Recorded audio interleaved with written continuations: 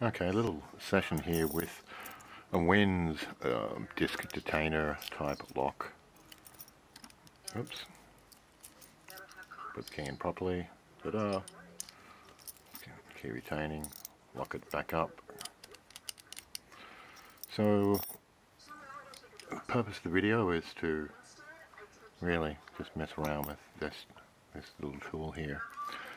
So I'm going to try and pick this lock begin by zeroing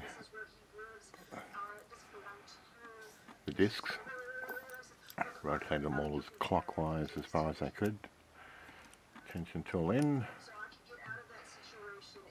moderate, light or moderate tension I guess, easing off where necessary, um, using this finger here support that and hold it in place and allow me to make a slight adjustments and hold it.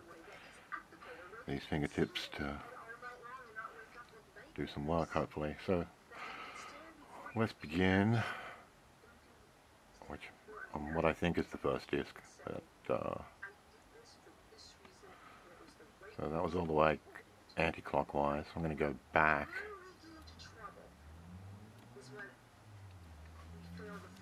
and it felt loose as I got as I got to this position here. So I'm going to try and sneak onto the next disc if I can.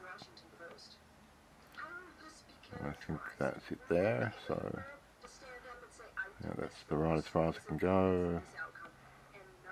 We'll start going anti-clockwise. It's biting pretty hard. So ease off the tension and now it moves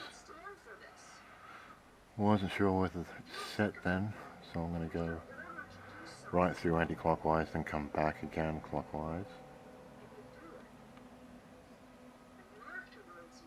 And it goes loose there again, so we'll leave it at that point. What I think is the next disc. Again, I went all the way anti-clockwise and didn't feel anything, so we'll come back the other way, and it felt like it loosened up there. So next uh, wafer, or disc rather. The habit of calling things wafers when they're not pins. Maybe in that, I don't know. Uh, anti-clockwise. Really get anything, come back the other way.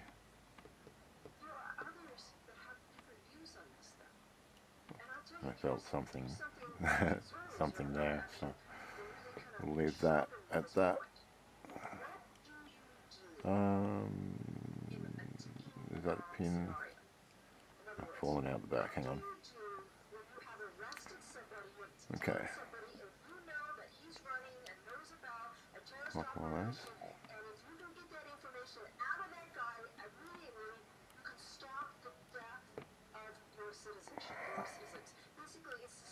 And we're up in.